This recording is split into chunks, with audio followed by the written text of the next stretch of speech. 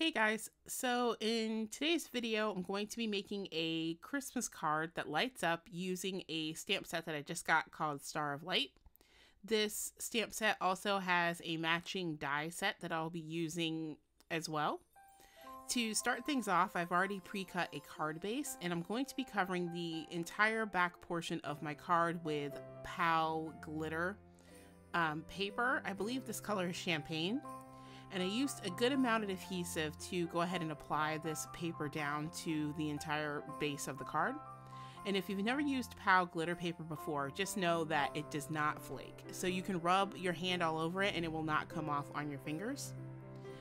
I'm also going to be using the matching die cuts for this card and I'm going to run those through my Big Shot. So first things first, I'm going to use my Big Shot and a detailed snowflake or star die to cut out a design out of more POW glitter paper. And I actually ended up running this through the machine twice. So I kind of went through until it cranked through and went back and forth just to make sure that I got a clean cut. And I'm also going to be using the larger starburst or star to cut into the panel that's going to be the backer piece for my card. So I made sure that I got it fairly centered before I ran it through the machine.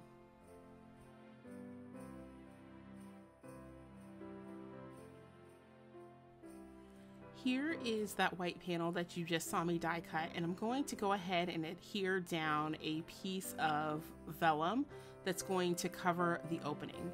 I want the opening to be somewhat transparent but not completely see-through. So I just use a little bit of tape runner adhesive and I'm covering the back with a small scrap of vellum. And I'm going to take the star that I just die cut and attach it to the front panel of the card on the vellum using a little bit of liquid adhesive.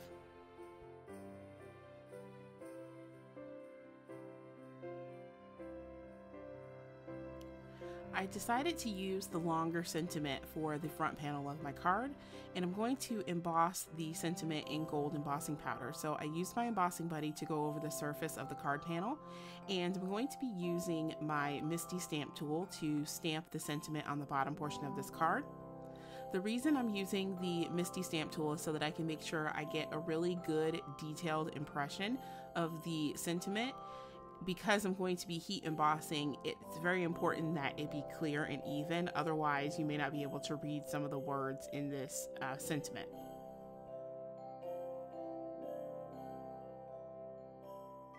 After I stamped my sentiment, I removed my panel from the Misti stamp tool and I'm carefully going over the stamped portion with gold embossing powder that I set in place by using my heat tool.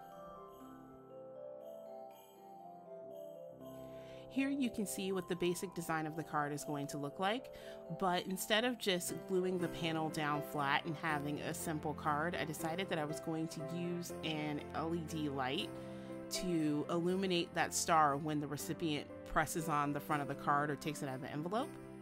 And just for the sake of seeing how this is going to work, I didn't cut out any of this footage.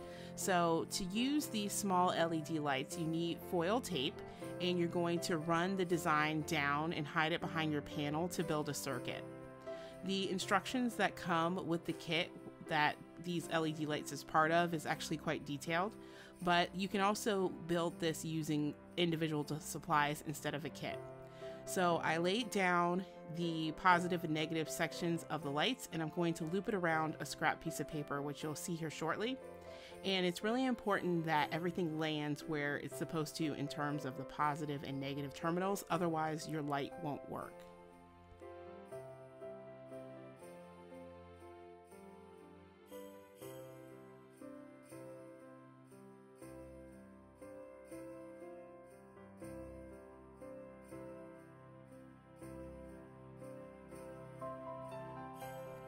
You can actually be quite messy with your tape that's hidden and still get a complete circuit.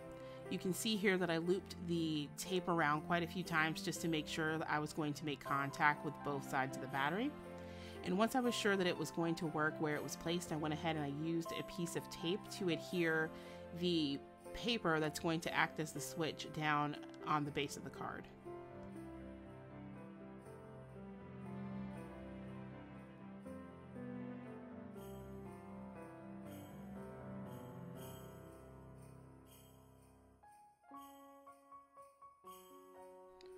Once I'm confident that the switch is working, I went ahead and placed dimensional adhesive on the front panel of the card.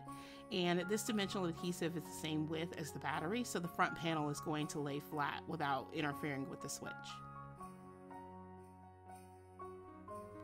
I've turned off a light so it's a little bit easier to see, but here is a look at the final product. You just have to press the front of the card and you'll be able to see the star illuminate. So that is a quick peek at the final product. And as always, guys, thanks for watching.